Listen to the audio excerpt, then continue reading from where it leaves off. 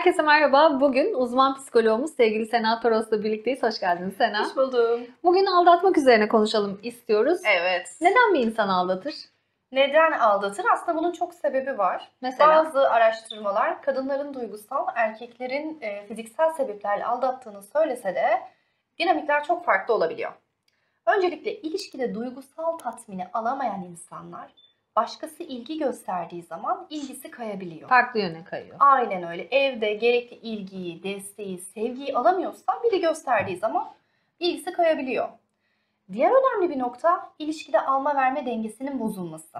Bu konuyu biraz kaçalım mı? Alma verme dengesi nedir? tamam. Ee, biz yetişkinlerden, kadın ve erkek yetişkinlerden anne babalarının ayrışmasını bekleriz. Kendi ayakları üzerine Aynen öyle. duran. Aynen. Ama o günümüz toplumunda, özellikle Türk toplumunda çok fazla mümkün olmayabiliyor. Anne babaların biraz eli üzerinde kalıyor değil mi Evet, çocukların? Evet, evet. Ee, kadın veya erkek annesine aşırı bağımlı olabiliyor. Hatta evlense bile hala ailesi birinci planda olabiliyor. Bu nokta ilişkiyi aldatmaya kadar sürükleyebilen etken. Her yeni sistem eski sistemden önceliklidir. Eğer bir kişi evlendiyse, yuva kurduysa önceliği eşi olmalı. Ama bu genelde anneleri babaları oluyor. Bu demek değil ki tabii ki annenizi babanızı ikinci plana Aynen. itin ama eşinin eşine de bir değer vermeli ve onu Aynen. aynı planda tutmalı. Aynen öyle. Ee, erkek üzerinden örnek verecek olursak erkek annesine babasına çok verici davranıyor diyelim.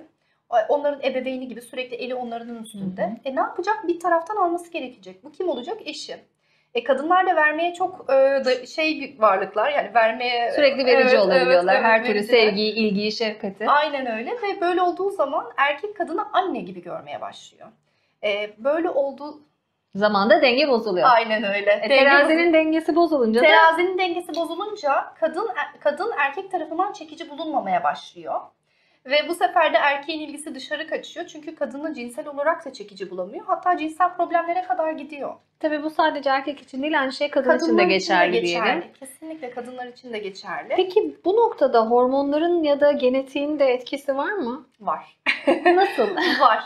Her iki cinsiyette de bulunan vazopresin ve oksitosin hormonu var. Bu hormonlara biz bağlılık ve sadakat hormonları da diyoruz. Vazopresin ve oksitosin hormonu yüksek olan kişiler araştırmalara göre tek eşli olurken e, düşük olanlar ise çok eşli olmaya daha meyilli oluyor. Hı hı. Araştırmalar bize bunu gösteriyor. Genetik olarak baktığımızda da bir takım araştırmalar var ama çok net böyle e, Söyleyemeyiz. söyleyemeyiz. Evet. Annesi babası aldattı, bu kişi de aldatır diyemeyiz. Böyle bir Ee, şey evet yok. ama şey olabiliyor. Aldatma travması varsa travmalar aktarılır. Biz Hı hı. anne babamızla, atalarımızla görünmeyen bağlarla bağlıyız. Peki şu da var mıdır? Her an aldatılma korkusu yaratır mı o kişilere? Annesi babası bir, birbirini aldattıysa diyelim annesi babasını aldattı. O kız çocuğunda da acaba beni de birlikte olduğum kişi aldatır travması olur Yüzde mu? yüz oluyor. Burada şöyle ufak bir parantez açmak istiyorum. Hı hı. Fareler üzerinde bir deney yapıyorlar. Farelere her kiraz çiçeğini koklattıklarında bir uyaran veriyorlar. Sert bir uyaran. Hı hı, Fareler bir süre sonra sadece kiraz çiçeğinin kokusunu duyduklarında korkuyorlar. hı hı. Sonra farelerin bir sonraki nesline baktıklarında uyaran vermeden fareler kiraz çiçeğinden korkuyor. Torunlarına baktıklarında hiçbir uyaran yok ama fareler o kiraz çiçeğini kokusunu Gördüğünde. aldıklarında gördüklerinde kaçıyorlar. Böyle Yani bir aktarım söz konusu Aktarım demek söz ki. konusu. O yüzden kor, atıl- aldatılmış bir anneanne varsa bu torununa geçebiliyor mesela. Peki aldatılma korkusu tam tersi kişiyi aldatmaya da sevk edebiliyor mu? Sevk edebilir veya aldatılma korkusu varsa kişide kendisini aldatacak bir erkek seçebilir. Patoloji patolojiyi çeker.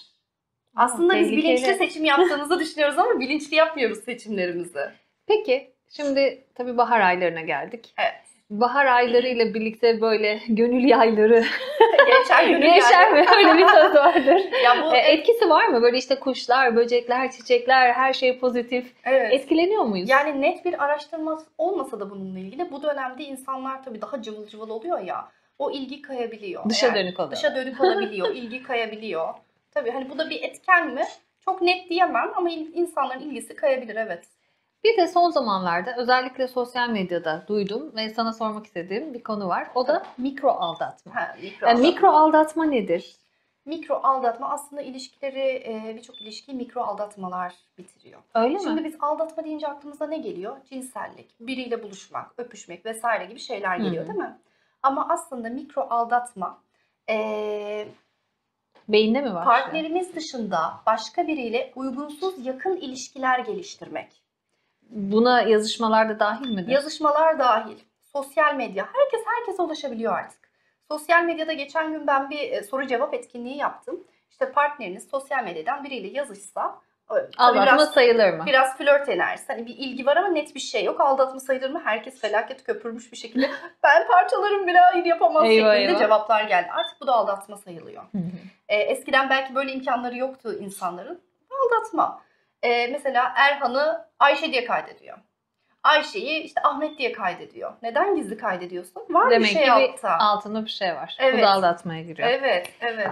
Ee, peki ne tür davranışlardan anlayabiliriz aldatıldığımızı? Hmm. Var mıdır böyle bir istatistik? Yani hani istatistik olarak değil de mesela genellikle şikayet edilen şeyler yoğun mesai saatleri. Çok yoğun çalışıyorum. Çok yoğun çalışıyorum. Eve geç geleceğim. Bunlar Tabii. E, e, partneri bu sefer serzenişte bulunduğunda işte benimle ilgilenmiyorsun vesaire dediğinde "E, görmüyor musun çok çalışıyorum diye bir üste çıkma. bahaneler.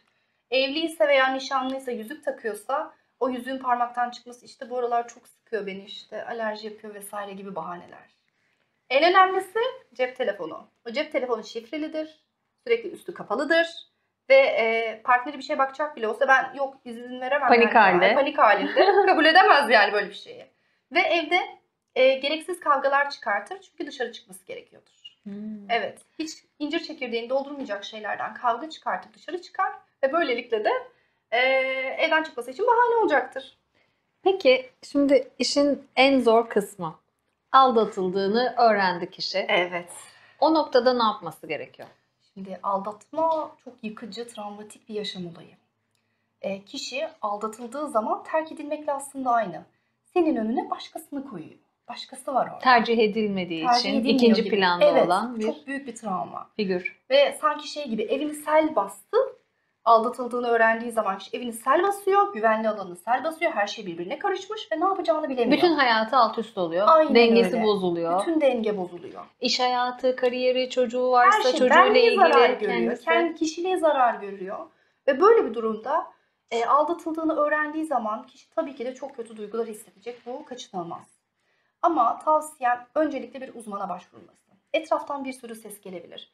İşte boşa, boşama vesaire gibi. Boşanma diyenler Gibi. gibi gibi. O yüzden kişinin hani gerçekten karar da vermeden biraz uzaklaşması, bir uzmandan destek alması, sakin kafayla değerlendirmesi gerekiyor. Çok zor bir süreç. Çok zor. Ama bir de eğer aldatıldığını öğrendiyse kişi hemen affetmemeli. Tabii bir de affetme kısmı da var işin değil mi? Evet. Tepki ne kadar az olursa eylem o kadar artar. Yani kişi hemen affederse, hemen barışırsa o eylemler artacaktır. Kişi bir gittiğini, bir yok olduğunu, bir kaybetme korkusunu karşıdakini hissettirsin. Çünkü neden? Biz kaybetme korkumuz olursa eğer karşımızdakinin değerini anlarız. Evet. Evet. Peki, bir bedeli olmalı. Yani affetmeli mi? Ben affetmeli ya da affetmemeli diyemem. Ama araştırmalar gösteriyor ki neredeyse ilişkilerin bitme sebebi aldatma %10'luk kısımda filan.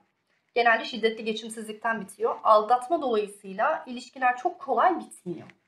Ee, %90 ilişki devam ediyor onu söyleyeyim. Araştırmalar öyle söylüyor. Ee, Yani, yani aldat, aldatan kişi affetse bile o ilişkide yine de böyle bir takım korkular kalıyor diyebilir miyiz? Değişebiliyor mu? hem de bambaşka değişebiliyor. Ama öncelikle şuna dikkat etmesi gerekiyor. Kişi geldi, partneri geldi, ben pişmanım dedi.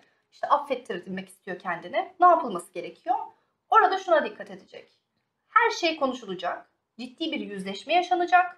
Her Evet, anlamda. Evet, her anlamda ve o kişi o konu bir daha açılmayacak.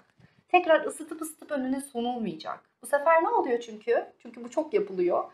Ee, tekrar önüne sunulduğunda her kavgada artık kadın ya da erkek bir süre sonra o suçluluk duygusunu hissetmiyor aldatan taraf. Çünkü yani Normal geliyor. normal geliyor artık. Yani bu durum artık tamamen kalkacak. Bunu Bu noktaya getirmemek gerekiyor. Evet, bunu yapabileceklerse barışmalarını tavsiye ediyorum. Ha bir de güven var. Tabii. En Evet. önemli sorun değil Evet, mi? evet. Güven, Güven... çok ciddi anlamda kırılıyor. Ve güven kıranın güveni toplaması gerekiyor. Bu da çok zaman alacak. bir daha güvenmek Bir daha güvenmek çok e, zor mu? zor olacak. E, mesela nelerden rahatsız oluyorsa şeffaf olmasını tavsiye ediyoruz aldatan tarafa.